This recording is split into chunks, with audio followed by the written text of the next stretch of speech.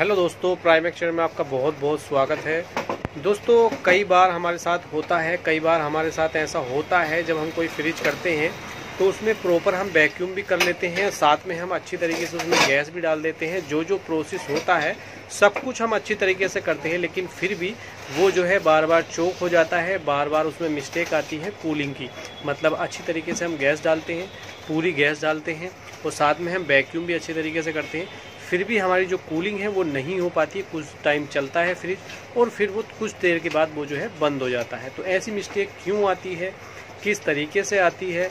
और ऐसा हम क्या करें जो कि उस फोल्ड को हम निकाल सकें क्योंकि हमारा कंप्रेसर भी बिल्कुल ठीक होता है, हमारा कंडेंसर भी ठीक होता है, हमारा जो फ्रीजर होता है वो भी सब कुछ ठीक होता है, लेकिन फिर भी वो जो है कूलिंग हमारी नहीं कर पाता है 20 मिनट 25 मिनट चलता है और उसके बाद जो है कूलिंग वो बंद कर देता है, सुई जो है वो माइनस में जाने लगती है, जो हम उसमें गैस डालते हैं।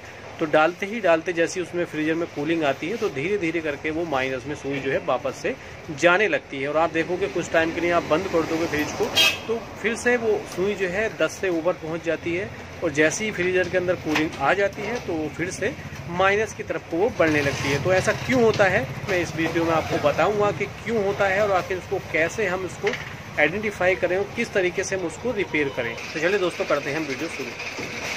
तो ये रहा दोस्तों फ्रिज जिसमें बार बार कूलिंग की प्रॉब्लम आ रही है। अगर हम उसमें फ्रीजर में जो हमारी लाइन होती है तो उसमें अगर हम इस तरीके से बत्ती को मारते हैं तो वो जो है हमारा कूलिंग जो है वापस से करने लगता है। ऐसी दिक्कत आपके साथ में ना आए तो इस वीडियो में आप पूरे बने रहिए। लास्ट तक आप इस वीडियो को देखिएगा, उसमें आपको बता दूँगा मैं कि क्या क्या आप करेंगे तो आपकी जो प्रॉब्लम है ये सोल्व हो जाएगी। तो सबसे पहली चीज़ आप क्या करेंगे मौसम का आप ध्यान रखेंगे। जैसे कि आपका बरसात का मौसम होता है, आप देखेंगे, इस टाइम हमारे जो बादल हैं बहुत ज़्यादा हैं तो यहाँ पे सबसे मेन चीज़ होती है मौसम। अब सपोज़ कर लीजिए कि आप उसमें फ्रिज में गैस डाल रहे हैं तो अगर आपका जो मौसम गंदा है, नमी है, मौसम के अंदर, जैसे बरसात का मौसम होता है तो उसमें बहुत ज़्यादा नमी होती है तो जैसे ही आप कंप्रेसर को चलाएँगे तो हवा जैसी पाइपों के अंदर को जाएगी हमारे तो उसके अंदर मॉइस्चर होता है, नमी होती है तो नमी के कारण क्या होता है, पाइपों में हमारे वो मॉइस्चर जम जाता है हवा के कारण, नमी के कारण। जैसे ही आप कंप्रेसर को चलाते हैं, हवा अंदर जाती है तो मॉइस्चर पाइपों में जमता है। ये चीज़ आप नोट करेंगे, जो नमी पाइप के अंदर गई है मैं बाहर की बात नहीं कर रहा हूँ, जो पाइप हवा के द्वारा, मौसम के द्वारा, बरसात के मौसम के द्वारा जो हवा है, उसमें नमी है, वो नमी जो है पाइप के अंदर पहुँच गई है। तो जब तक आप उसको नमी को बाहर नहीं निकालेंगे, तब तक आपकी प्रॉब्लम सोल्व नहीं होगी, ये आपको ध्यान रखना है। तो उसको हम कैसे आपको ये ध्यान रखना है कि वो नमी जो है अंदर ना पहुँच पाए, अगर पहुँच भी जाए तो उसको हम कैसे आइडेंटिफाई करेंगे? कैसे हम उसको बाहर निकालेंगे?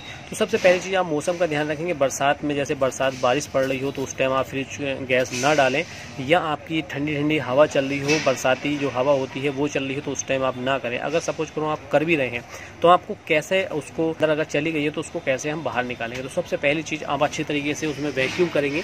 अगर आपको ऐसा लगता है कि नमी बाहर नहीं आई है तो आप उसकी जो है प्रॉपर तरीके से उसके फ्रीजर के अंदर नमी पहुँच जाती है। किसी भी तरीके से आपकी नमी पहुँच गई तो फ्रीजर के अंदर जैसे ही वो जाएगी तो वैसे ही जैसे ही वो फ्रिज में बर्फ़ जमनी चालू होगी तो वैसे ही फिर से मिस्टेक आपकी आ जाएगी।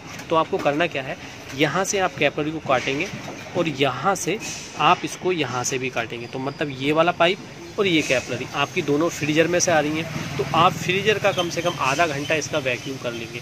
यहाँ से आप इसका काटेंगे। काटने के बाद यहाँ से आप टाका लगाएँगे और यहाँ से आप एक पिन वोल लगाएँगे या फिर आप एक कपलर भी लगा सकते हैं इस टाइप का। इस टाइप का आप कपलर भी लगा सकते हैं या आप, यहाँ पे आप पिन वोल लगाइए। पिन वोल लगाने के बाद यहाँ से आपके पास कंप्रेशर होगा या फिर आपके पास वैक्यूम पंप होगा। उसमें आप इसको लगाइए और इसका वैक्यूम कर लीजिए। मतलब यहाँ से आप कपड़ा लगाएँगे तो जो फ्रीजर की जितनी भी नमी है, यहाँ से आप टाका लगा दीजिएगा, वरना इधर से हवा जाएगी आपकी और भी ज़्यादा यहाँ पे मॉइस्चर आपका जमने का खतरा रहेगा। तो यहाँ पे आप कैपलरी को लगा के यहाँ पे आप टाका लगा दीजिएगा। वैक्यूम मोड पे इसको डाल देंगे मतलब वैक्यूम कम से कम आधा घंटा कर लेंगे इसका। तो आपका जो भी यहाँ पर आपकी नमी जा चुकी है फ्रीजर के अंदर, वो आपकी बाहर आ जाएगी। और जैसी बाहर आ जाएगी, फिर से आप इसको यहाँ पर फ़िल्टर लगाइएगा। या आप दूसरा भी लगा सकते हैं, आपका फ़िल्टर न्यू है तो वो भी लगाती है मेरे हिसाब से तो आप फ़िल्टर अगर चोक हो रहा तो आप उसमें फ़िल्टर भी आप बाद में यहाँ पे चेंज कर दीजिएगा। यहाँ पे आपने वैक्यूम कर लिया है, उसके बाद यहाँ पे लगा के पूरे सिस्टम का आप वैक्यूम करिए, जैसे कि मैं यहाँ पे आपको बता रहा हूँ। इस तरीके से फिर से इसको लगा के फिर से आप इसको वैक्यूम कीजिए। वैक्यूम जैसे ही हो जाता कम से कम आधा घंटा इसको इस मौसम में, बरसात मौसम में कह रहा हूँ मैं, बरसात मौसम में इसको कम से कम आधा घंटा वैक्यूम कीजिए, आपकी प्रॉब्लम कभी भी नहीं आएगी। और जब इसमें आप गैस डालेंगे एंटीमोस एक एंटीमोस डालेंगे और एक एंटीमोस डालने के बाद आप इसमें गैस छोड़ देंगे। गैस छोड़ने के बाद आपकी कोई भी प्रॉब्लम ऐसी नहीं आएगी। बहुत व्यूवर्स का ऐसा मेरे साथ में कमेंट आ रहा है, मेरे यूट्यूब पे, मेरे व्हाट्सएप पे बहुत ज़्यादा ये मिस्टेक आ रही है। तो ये दोस्तों होता है बरसात के दिनों में, जैसे कि आप यहाँ पर मौसम देख भी रहे होंगे बहुत ज़्यादा यहाँ पर बरसात का मौसम यहाँ पर आपको दिखाई दे रहा होगा। तो ये सिर्फ़ बरसात होता है नमी होती है जो हवा के द्वारा अंदर चली जाती है और एक बूंद भी अगर इसके अंदर समझ लो नमी बनी तो हमारा जो ये जो प्रॉब्लम है बार बार चौक की आपको आती रहेगी। बस आपको थोड़ा सा मौसम का ध्यान रखना है। मौसम अगर बरसात हो रही है, आपकी ठंडी, नमी हवा आ रही है तो आप उस उस मौसम में इस फ्रिज को ना करें। अगर कर भी रहे तो आप उसमें एंटीमोस ज़रूर डाल दीजिए। आपकी प्रॉब्लम कभी भी नहीं आएगी। तो आई होप दोस्तों, ये आपको समझ आ गया होगा। और आपको अगर समझ और वीडियो पसंद आई तो दोस्तों, प्लीज़ दोस्तों, वीडियो को लाइक ज़रूर करें और साथ में वीडियो को शेयर करना बिल्कुल भी ना हो तो दोस्तों, मिलते हैं नई वीडियो में, नई साथ। Okay bye